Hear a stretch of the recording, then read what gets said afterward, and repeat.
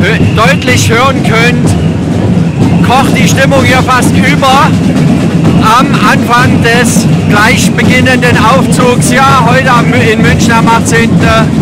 Februar. Und ihr seht, die Frieden, äh, der Frieden und die Freiheit sind auch wieder mit dabei. Genauso die Schweizer Freiheitstrüchler. Das wird heute hier eine fantastische Veranstaltung für Frieden und für Freiheit. Die Münchner freuen sich auch, dass die Sachsen natürlich hier so stark wieder vertreten sind. Und ihr seht, das Fahnenmeer hier hinten, das nimmt gar kein Ende.